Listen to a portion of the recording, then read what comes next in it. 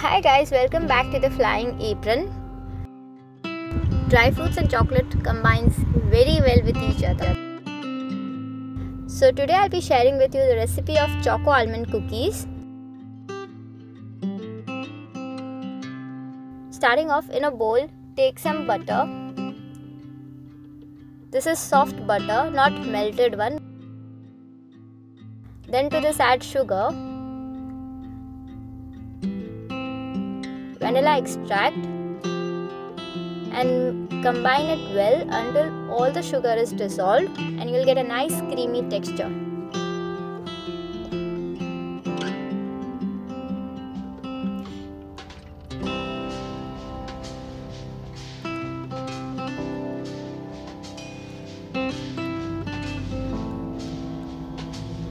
Then to this add milk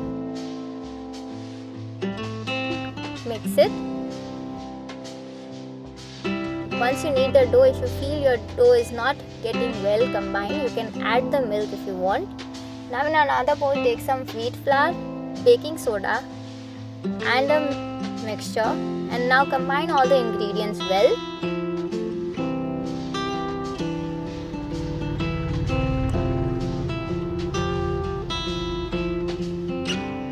You can always use your hand if you want to.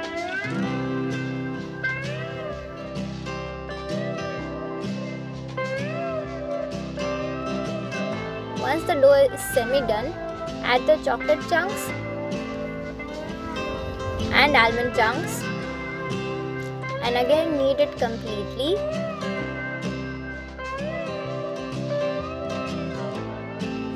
Set the dough aside for 15 minutes and in a baking tray place the cookies. Make sure to give the shape to your cookies because these cookies will not rise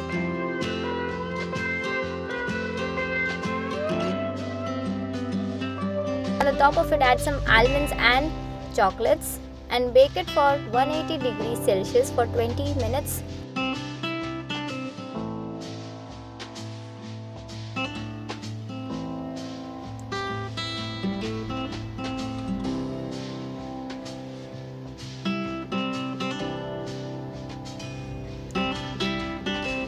You can see how beautiful and crunchy these cookies are. That's it for today's video. Thanks for watching the video. For detailed recipe, do check the description box.